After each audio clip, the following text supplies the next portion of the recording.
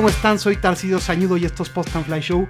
Pues así es, eh, por fin tenemos algo directamente para el canal del Skydio 2.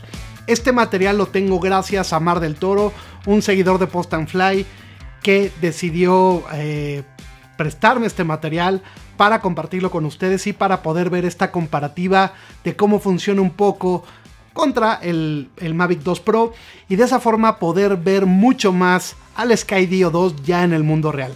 De verdad, muchas gracias Mar del Toro por apoyar esto, porque estoy seguro que esto le va a interesar muchísimo a todos, así que comenzamos. Pues bueno, aprovecho primero para decirles que en la descripción está el canal de Mar del Toro y también su Facebook para que lo sigan. Aquí lo interesante es ver cómo funcionan los dos. Obviamente hay que ser justos, no, no podemos exigirle al Mavic 2 que tenga la precisión que tiene el Skydio 2 para seguir todo el tiempo al objeto. En este caso se está utilizando un beacon y pues también no le podemos exigir al Skydio 2 que le llega la calidad de imagen del Mavic 2 Pro. Y son dos cosas que se hacen muy notables en esta comparativa. De entrada, la verdad, estéticamente, lo que se ve mejor es lo del Mavic 2 Pro. Pero lo del Skydio 2 para nada se ve mal, pero sí se nota una diferencia. Pero sin duda alguna en estas pruebas, que también es importante recalcar, tú puedes modificar muchas cosas del Active Track y posiblemente podría o no funcionar mejor en estas circunstancias. Pero lo que sí es un hecho, por experiencia propia, es que el Active Track 2.0 funciona muy bien cuando el objeto no se mueve tan rápido. Cuando empieza a acelerar más, ya sea un coche o en otras situaciones, se empieza a quedar un poco atrás no pierde el cuadro, pero sí se queda atrás. De alguna forma, eh, lo, hace, lo hace ver cinematográfico, podría ser una toma que tú planeas así para que se vaya yendo, pero no es el caso de que se quede parado, sí continúa. Y como podemos ver ya después, ya que se frena, en este caso este Tesla, pues se empieza a acercar ya al final y llega mucho después. Obviamente no le llega a la precisión que tiene el Skydio. El Skydio solamente en una prueba se quedó un poco atrás porque aquí sí fue una aceleración a todo y estamos hablando de un Tesla, que sabemos que estos coches aceleran de forma impresionante, pero aún así muy rápido digamos que lo alcanzó y en cambio el Mavic 2 Pro se tardó bastante.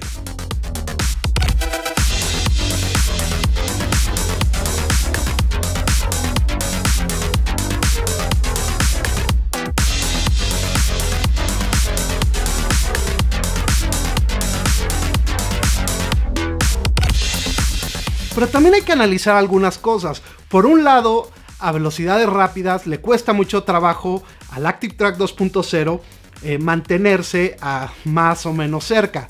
Pero también lo que sí creo es que en los momentos más lentos, el que mantiene un cuadro más constante y más fluido es el Mavic 2 Pro.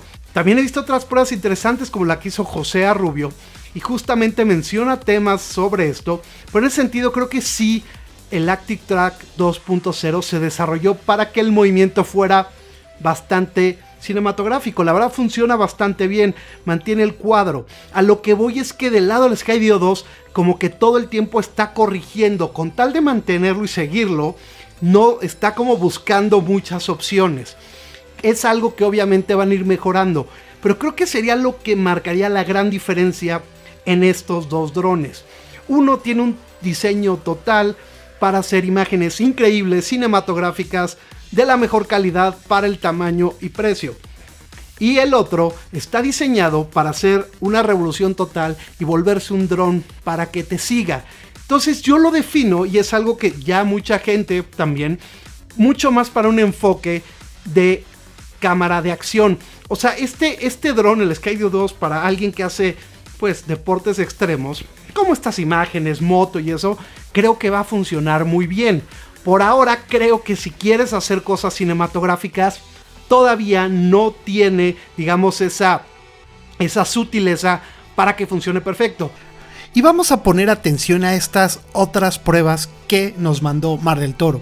Aquí estamos viendo una prueba bastante compleja, porque lo que quiso hacer es prácticamente marear al Skydio 2 para ver si lograba seguir a esta moto, eh, haciendo un movimiento que no sería el natural normalmente de un vehículo. La verdad es que el Skydio 2 lo hace excelente.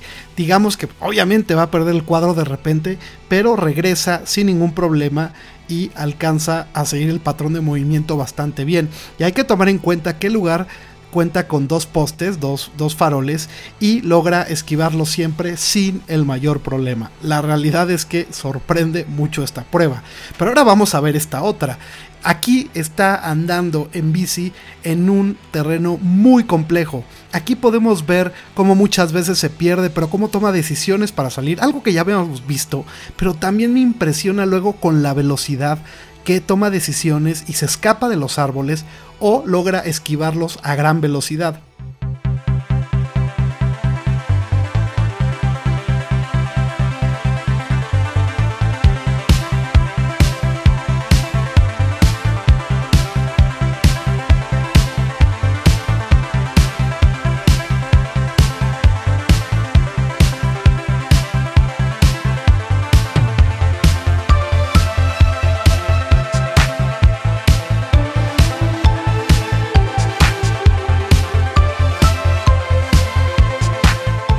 Es un seguimiento que está en otro nivel.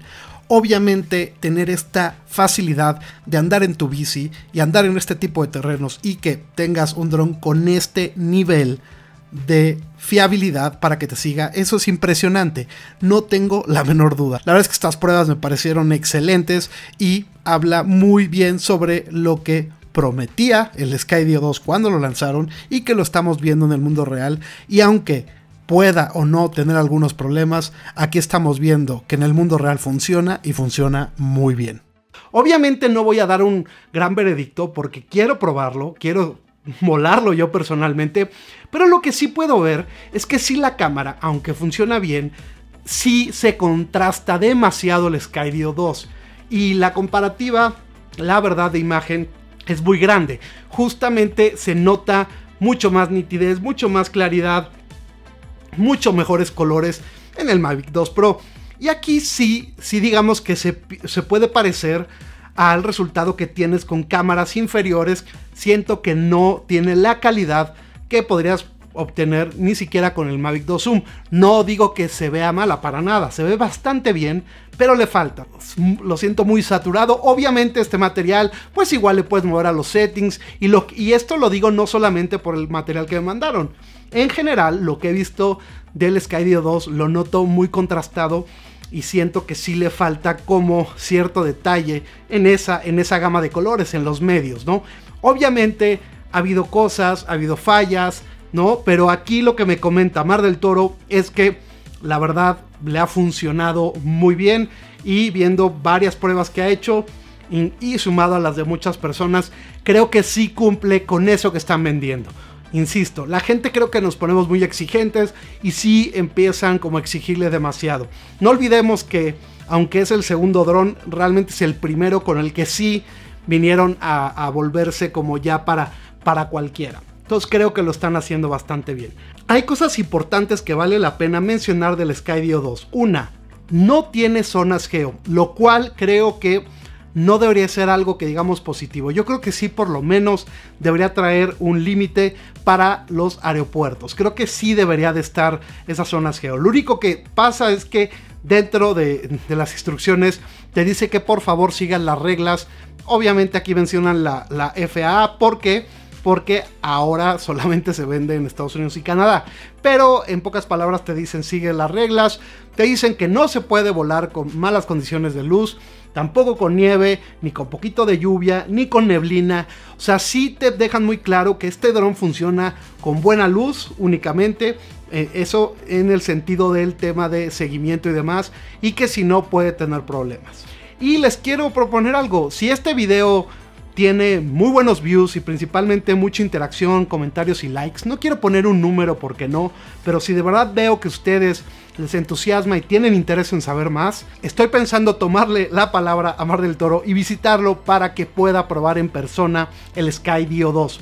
Le estoy dejando en la descripción varios links para que sigan a Mar del Toro tanto en YouTube como en Facebook. Y pues nada, muchas gracias a todos. Por favor suscríbanse y pican la campanita porque vienen muchas cosas muy interesantes. Y pues nada, les mando un gran saludo. Nos vemos en el siguiente. Chao.